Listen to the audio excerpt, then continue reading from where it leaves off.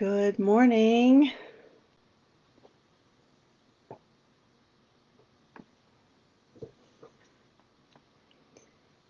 Give some time here for people to get going this morning and join us.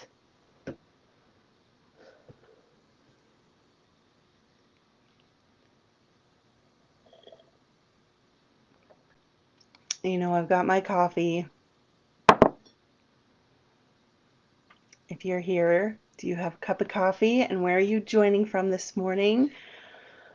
Or maybe you're watching the replay later, which is great.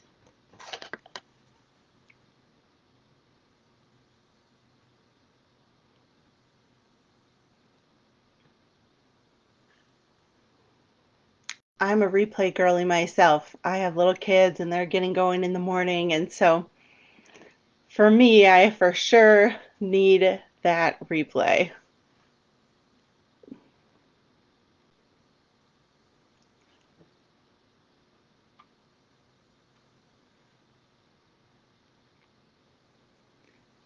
Yay! Hi, good morning. Bonney Lake. My in laws used to live in Bonney Lake. It's a beautiful place. Good morning from California. Hi, Laura. So glad that you're here.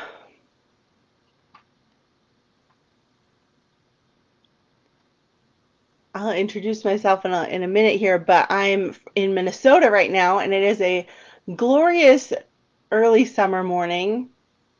Blue sky, not a cloud in it. Says it's going to rain later, but we'll see. You never really know. One thing about me is that I love the weather, and I'm always going to ask you about it, and I'm always going to mean it. What is the weather like where you are? I love the weather, and living here in Minnesota, we get plenty of it. So,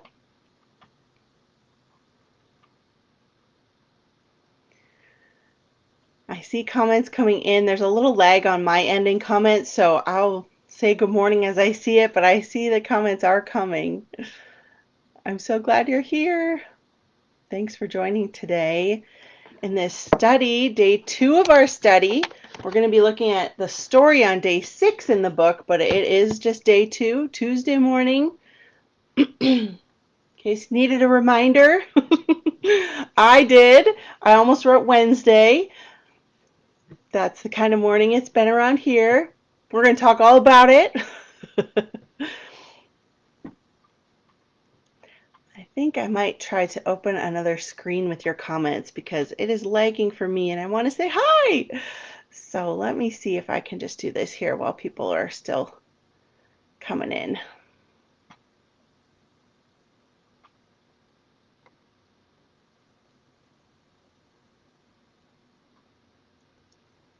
I'm so glad you're here. I'm so glad if you're watching later that you're tuning in. Maybe you're ending your day with us.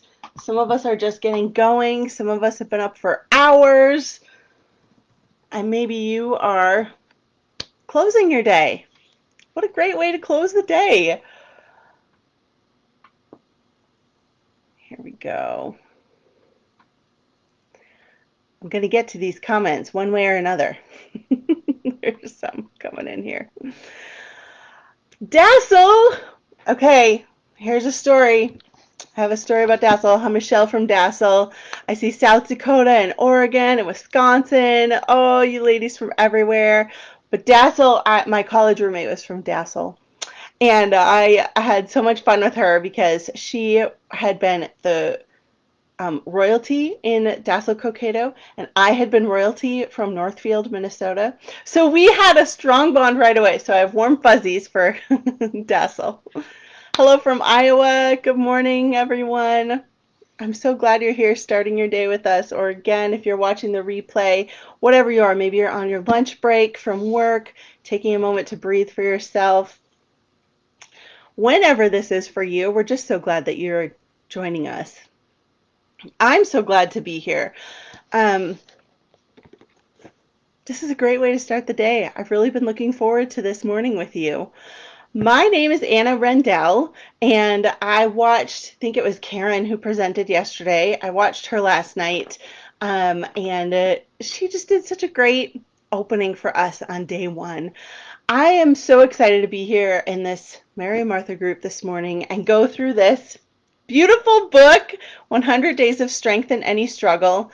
And I wanted to take a minute um, before we jump into the devotion. We're going to be looking at uh, day six of the devotion, of the devotional Struggle in the Ordinary. I'm going to close an app here. Facebook's telling me I might need to close an app, so I'm going to close out here. So I'm sorry if I miss your comments um, but I want to make sure the video works well. Uh, Becky, I see you're here. Just text me if anything's going funky, okay? Because I closed the comments. So I'm sorry I won't be able to see those, but I'm going to jump in with them afterwards. Um, they're just not coming in on my end. So I'm Anna Rendell. I uh, love Mary Martha. I love the community you have built here in this group. I've been lucky enough, blessed enough to be a part of a fly on the wall with some of your studies that you've done over the years, but uh, because I work at Dayspring. So I work full time for Dayspring, um, you know, side by side with Mary Martha. And uh, for the last uh, 12 years, I've worked with Daysprings incourage. And uh, the, so that's why this is so special to me that we are working through this fabulous book together in this particular space. It's really, really meaningful to me. I love incourage. Um, I I'm going to go a little backwards with my uh, path here from from Dayspring, but I'm full time at Dayspring. I work in the marketing team, the digital marketing team. Um, so I'm working behind the scenes, doing all kinds of things uh, for books, for product marketing, all kinds of things um, with that. And I'm watching Mary Martha product and everything that you do. Uh, fun fact, I also helped maintain uh, the Mary Martha blog for a couple of years, so got to see a lot of words and products come in that way. And I just love uh, the goal, the the company, the ambassadors, your your everybody. I love Mary Martha. I love Dayspring. And I loved finding all of that via incourage. So I heard a lot yesterday, um, and I've over the years in your studies heard about this sisterhood that you have and um, even this army of women and how you get together and you talk and you love each other. And that is also what Dayspring provides us at incourage. So if you haven't heard about incourage with this this book, incourage.me is uh, we're a website. We have 25 writers, and every single day we publish something uplifting, encouraging content for you. We publish someone's devotion on incourage.me every day, and we also run it as a podcast episode. Um, that's actually one thing I get to do is voice the podcast. So if you ever listen to our podcast, that's me. Um, so we run that podcast during the weekday and we put up new posts from one of our writers every single day. We feature books as well. We talk through the magazine that comes out and we also feature recipes um, with Mary Martha product that Nancy writes for us. So we put those up once a month as well. So incourage is this online community where people can find that sisterhood that you've all found in Mary and Martha. Um, we open that door for them. We have guest authors come through as well. And people connect in the comments. Our writers share about well, here's our tagline. Every weekday, one of our writers shares what's going on in her everyday life and how God's right in the middle of it all. Truly, that's what we do. And that's what we've done in this book. And so I'm really excited to be able to be a part of this, to go through this with all of you. And today we're going to look at this, um, at one of my pieces that I wrote. It's day six in the book, and uh, it's called Struggle in the Ordinary.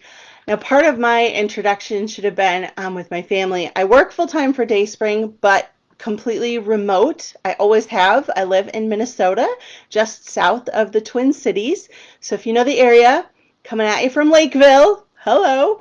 Um, and I live here with my husband. We just had our 17th anniversary, and we have four kids. They are 12, 10, 8, and 3.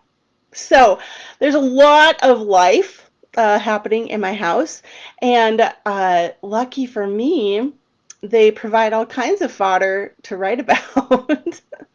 um, and just this morning with this this piece, I was thinking about you know real life examples and ways I could look at this through a fresh lens. And my kids were so uh, generous to provide me with some new stories from just this morning. I got one kid out the door for school. It was his last day of school today. And another child had woken up really early and woken that child up. She said, I only poked him once. and then as we were feeding the dog, um, the garage door was open and the dog went right out the door down the street to say good morning to another dog walking by. It was a whole tussle. It wasn't even eight o'clock. And I thought, Lord, are you, are you in this even? Oh my gosh. And that's the whole point, right? That's what we're going to talk about. So he is in this. Let's um let's open in a in a little word of prayer. If you join me from right where you are.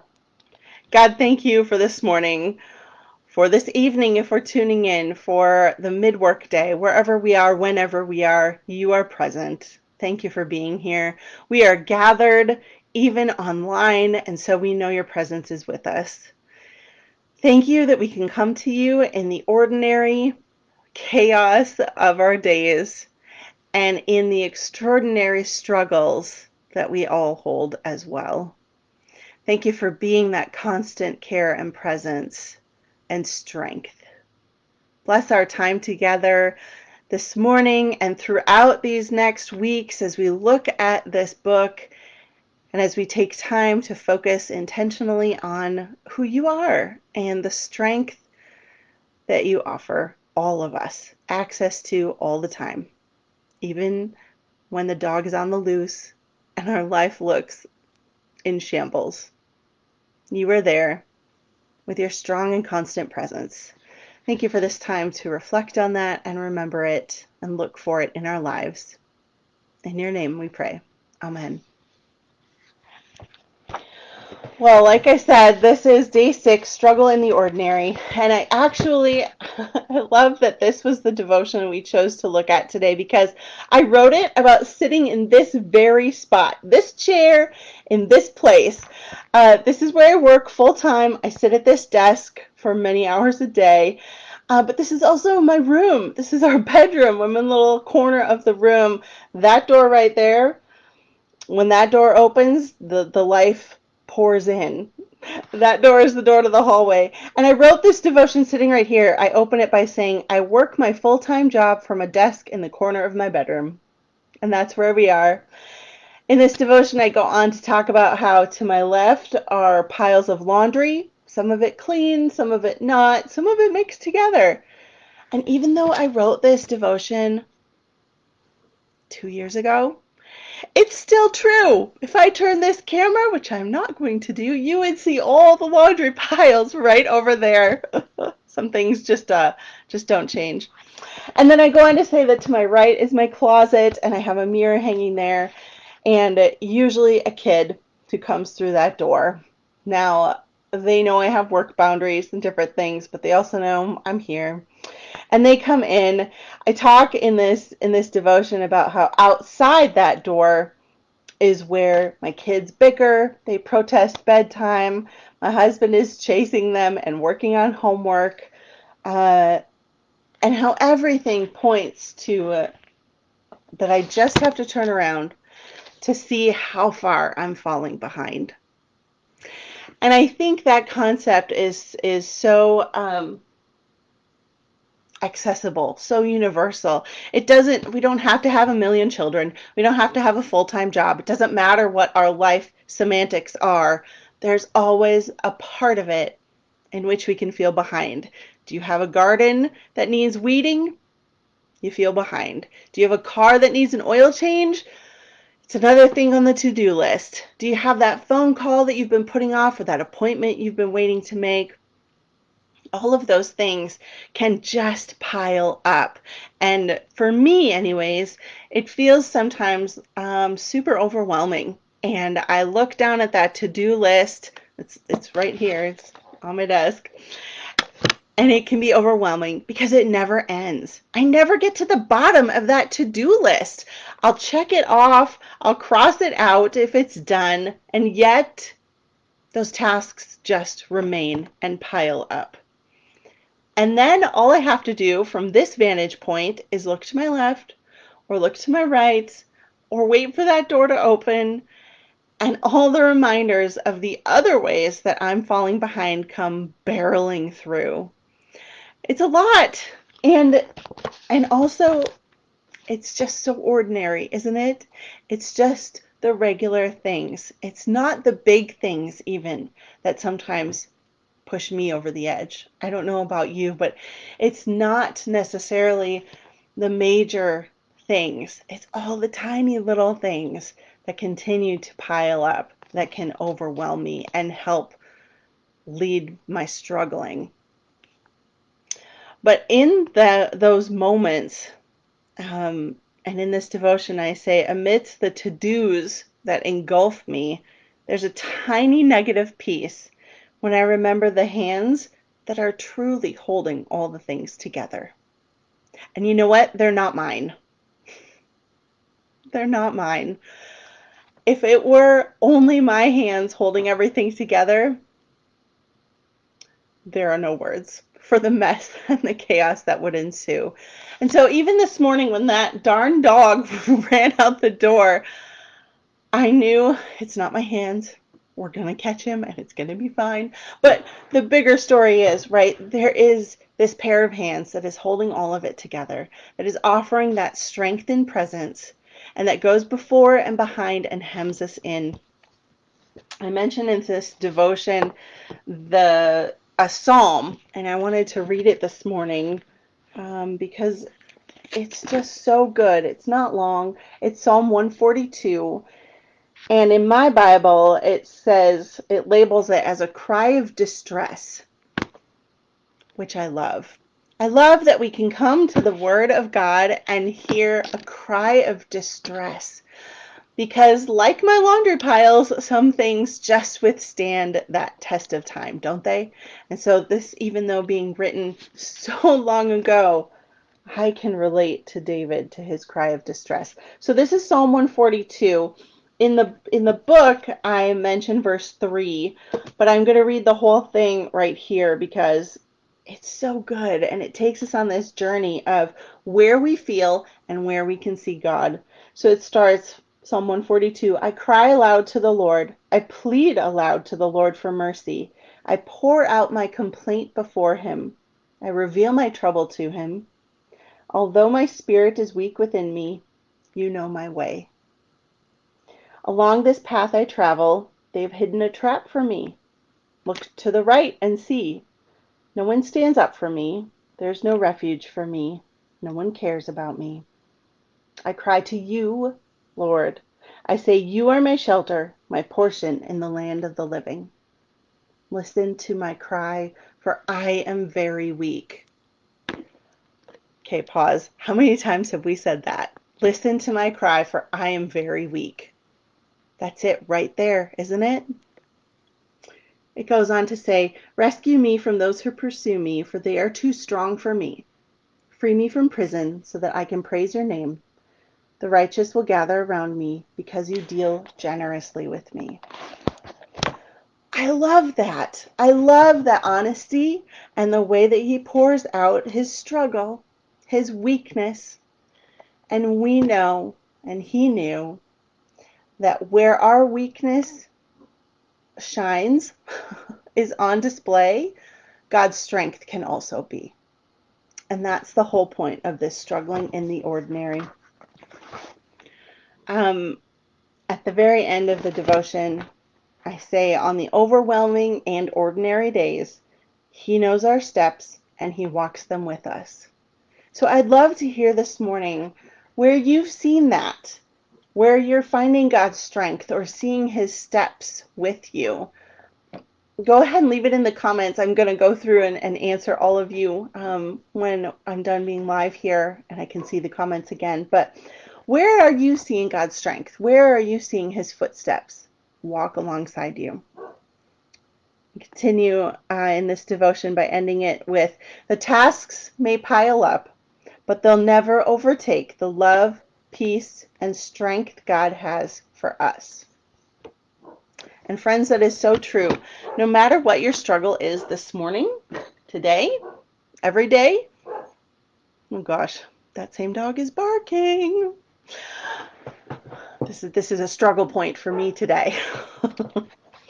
but no matter where we find ourselves today on this path, in this book, in this group, in our business, in our neighborhood, in our jobs, in our lives, Wherever we find ourselves struggling, coming up short, being overwhelmed by the ordinary things of our days, we can still look for God's footsteps next to us. He is still there. He is still strong. He is still walking with us. And I'm so grateful to have this moment this morning to start our day on that note. That's going to carry me today. And I hope it carries you as well um, I hope that that we can continue to look together to each other and see how we're how we're struggling and where we're seeing the Lord in it. That's the whole point of incourage, and that's the whole point of sisterhood in Christ, isn't it? That we can continue in our real lives, our very real messy lives, and uh, point each other to the strength of the Lord, who goes before, behind, and hems us in. I'm going to close this in prayer this morning. Um, let's pray. God, thank you for this time, for just even a few minutes to spend in your word and with each other, talking and sharing and reflecting. Thank you for a few moments of quiet and peace as we intentionally take that time to seek you and to ask you for your strength to carry us through. I pray for these women gathered here in this space and all the women in the sisterhood of Mary and Martha and incourage. And I pray that we would see your strength in your hand and your footsteps right beside us. That when we feel weak because of the laundry or the challenges or the extraordinary struggles or just the ordinary ones, that we would see your strength and that we could be a sister who reminds another one of that strength as well. When we see her struggling, we could point her to you. Thank you for being the God who sees us, the God who is strong for us in the daily, mundane, ordinary struggles. We love you, Lord. It's in your name we pray. Amen. Well, thank you again for joining me. I so appreciate it, and I appreciate the invitation to be here. You're going to hear from more encouraged writers throughout the next weeks and from your own Mary and Martha sisters um, and ambassadors. So thank you again for this time, and um, I'm going to go dive into the comments. Have a great day.